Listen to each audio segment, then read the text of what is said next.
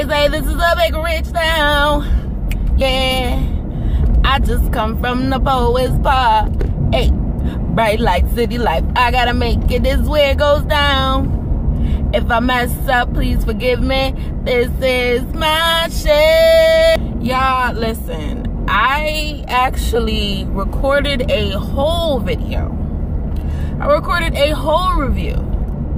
But I had these earphones plugged in that don't have a speaker. Do you know that whole damn review was in silence? I was like, fuck it. I'm not even doing a review this week. And I fucking threw away my notes. And I can't be remembering shit. So I was just like, I can't do it. I ain't doing it this week. But then I was like, I did that with the other shows and I see other YouTubers do multiple videos, multiple shows, and they be putting their shit out. Like, but what I'm gonna do is, I'm gonna just tell you the things that I wanna talk about. And I feel like that's even better because I don't necessarily wanna talk about everything. Like, let me just go person by person, okay? And I'm about to go to McDonald's real quick. It ain't even gonna be real quick because the line is looking ridiculous. How dare everybody be getting lunch right now? Let's see. How did the episode start? Look, all right, so Terry, Silver, and Ghost don't trust each other. They got a mutual distrust. I feel like Terry is on some like I'm a black man. I did what I was supposed to do. I went to college and everything. And we got this kingpin over here making millions and millions of dollars. He got this little superiority complex. And I feel like he should not feel so good about himself. So Terry's taking the chance to tell um Ghost like, nigga, you ain't shit. Like, I just want you to know that. While everybody else out here walking around, laughing and shit, smiling in your face, I'm not. Cause I know you ain't shit, my brother. And I mean, he's not. Ghost ain't shit. But Terry don't know that though. And he paying you. So it's like, I understand you want to be your little, um, you want to be on your high horse, but he's paying you to represent him. So it's like, shut the fuck up. Whatever. Ghost says like he, the gun isn't his. Proctor ends up getting the gun thrown out. I'll be all over the place, y'all. Proctor ends up getting the gun thrown out. He's also not gonna be um, his attorney anymore. They got him on that conflict of interest shit with him being the attorney for Tommy.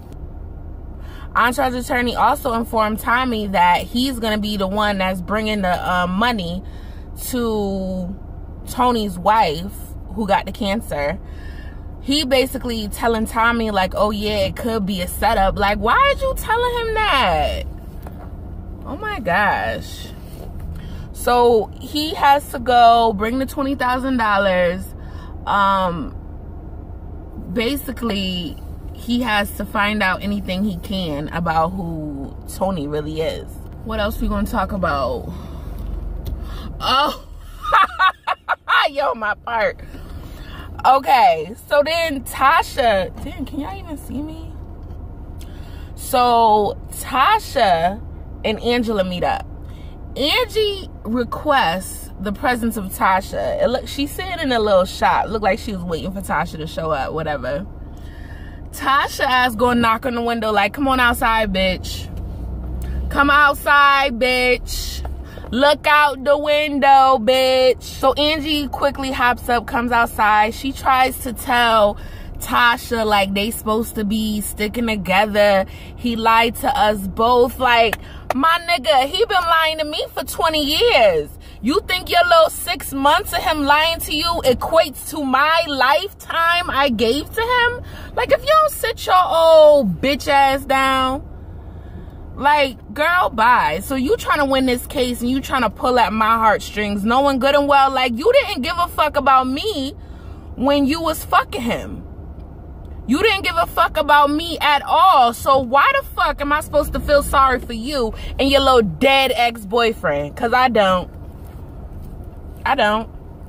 I mean, I do. But Tasha don't. What the fuck? The fuck should she care for? If Angie don't, oh. And I hear like uh, Angie been getting death threats. Yo, people are fucking crazy. Hold on. So where was I? I just had to order my fish fillet. So yeah, and then Angie ends up telling Tasha about the deal that was given to um, Ghost, which really wasn't no deal. Of course, she was going behind the um the other. She was going behind John's back to even give him the deal. And oh God, I'm just so sick of. You know what I'm feeling like with the show? I'm feeling like, why is it that Angie's the only one that's like kind of been safe? Like she's being protected. She's being so protected. And I guess, could that be because, you know, she's the only female in this work environment? She's beautiful is it because she's a Latina woman? Like, what's going on? Because Keisha getting fucked over. Uh, Tasha getting fucked over. Like, can, can we let a black girl win? Can we let a black girl win? Raina losing. Baby girl losing. Baby girl ain't even been in no scenes. Baby girl can't even get a good wave in. You know what I mean? Everybody got an A at the end. Angela, Raina, Tasha, Keisha, and Paz. Anyways, Tasha ends up talking to Ghost like, what the fuck? What the fuck is she talking about, Ghost? What the fuck is she talking about, Ghost? Nah, she ain't call him Ghost, of course, because they was in the jail. So she's like, oh yeah, your little side bitch came over talking about she got a gift. That she had a gift for you. What the fuck? So why you ain't telling me about this gift? Cause she offered me a gift too. And Ghost look a little scared. I recognize that look. Oh my God. Ghost really remind me of someone that I used to know. Somebody. Oh, Ghost looking like he about to lose everything. Cause I feel like part of him was kind of scared. Like Tasha was gonna um, take the bait from Angie. Because we know he ain't shit. And he don't deserve Tasha or Angie of course, Tasha's sticking by his side. Um, Dre is being a little schemer. Dre is trying to, um, he's backstabbing Julio. He backstabbing um, Tommy. So he gonna tell Julio that he ain't say shit to Tommy about him being later with the feds he told Cristobal that Julio fucking up. And like something about Tommy. Now, Tommy was mad, feeling some type of way because Julio coming to him like, yo, why you not letting me in on the info? Like, you gonna break, what's the name, legs? And then Cristobal coming to me mad as fuck. And then he feeling some type of way because I'm out of the loop. So, like, could you let me in on the plans whenever you about to do something like that? So then, Tommy gonna say, that sounds like a you problem. Like, oh my God. Them being little dickheads to um Julio is really pissing me off. Julio seems to be hurt. Julio's betrayal is going to come up in this season. Julio is gonna get that get back. And I feel like he should. I feel like somebody need to shoot um Tommy in the kneecap. Come on, you just gotta make him suffer. That's my nigga and everything, but you doing too much and you need to suffer for your crimes against Julio.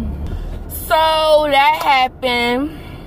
Tommy made the drop off.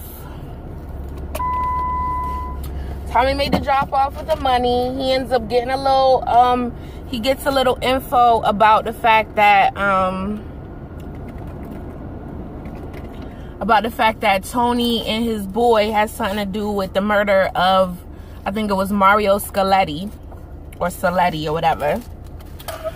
Um Markham ends up oh and everybody was like who's Markham? Who's Markham? They be calling him Markham, but his first name is Bailey. And thank you to a couple of people who are reminding me how Entourage Attorney came to be the attorney for Tommy and and Ghost. I was supposed to go back and watch that, like, you know, the part where they acquired Proctor, but I didn't go back and watch it.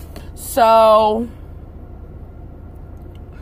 yeah, it was like T travel. Wait, T time travel? And Ibe the Igbo. I had and I had looked it up and mentioned it in my other video, but you couldn't hear me. So yeah, thanks to y'all too for clearing it up. I gotta go back and look at it. Markham talks to Entourage attorney about getting him the recording. They plan to meet up, and Markham says he wants to meet at his place.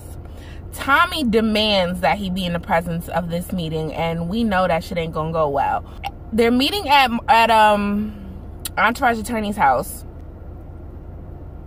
they get to the part where Tommy is killing Ruiz on the recording, and Tommy walks up on some Michael Myers shit out of the darkness and stabs Markham like three times in the chest. And I was mad because I wanted Markham to be the person to reveal that um Sandoval is the the mole. But it looks like Angie's gonna solve that one too. Like what the fuck? I don't want John to go. I like John, and I don't want this just to be him being in this season. Like, I'd like him to be here for other things because I like looking at him. Proctor is mad as hell that Tommy done killed this nigga in his house. Uh, Proctor talking about he got a guy that could dispose of the body. Tommy's talking about um what he say? He was like he was like I'm glad I didn't have to kill you. He was like um he was like, yeah, like finding another lawyer in New York City. What else do we find out? Oh, um, Tariq. Tariq had a bunch of money in his his room. Raina being nosy as fuck found it. Tariq might get it popping with this little thick shorty in the crib that uh, 50 done put him on to. Dre brought the um, money. Oh, everything getting shut down. The club got shut down. Um, Keisha shop got shut down. And oh, the accounts froze, my nigga. Oh my god. Tasha check to the school bounced. And it's funny because my mom said, um, watch watch Tasha end up being broke and she gotta look to Keisha for help. I was like, I know that's right. She gonna have to be like, bitch, could you teach me how to penny pinch? Um, oh, the worst part Lala has been blessed by modern medicine to be able to have the body that she does. We ain't gonna front. The titties ain't real. Maybe they are. They look good. The ass and the hips ain't real. Okay? You don't got the control over your ass and hips that you should. But baby girl, get in the mirror and pop that booty. Cause you should have been practicing on something for this scene with Tommy. Her booty did not poke. Her booty did not grind. Her booty did not whine. Her booty did not circulate or rotate. That sex scene was dry as hell and it looked like maybe Tommy was doing all the work from the bottom. Now, if a big girl telling you that, then you got a problem because, bitch, listen. You need to get it together, Lala. Like, what? Carmelo ain't say shit? Well, look. Yeah, I was about to say, that ain't no grounds for cheating on a bitch, but niggas will use a lot of shit for grounds for cheating on a bitch anyways that's my review y'all. So um if i missed anything i'm sorry. You know somebody might fill it in. I'm gonna try to edit this and get it out so that i jo- i don't have nothing for um you know for a review for this week. What's the name? My there's somebody who be hitting me up on twitter. Damn what's his name? It's like what up though? I don't know. But i see you boo. You be hitting me up thank you for checking for me yesterday. All right well thank you for watching. I'll see you later for another review of something else. Peace out. Sorry for my little half-ass review y'all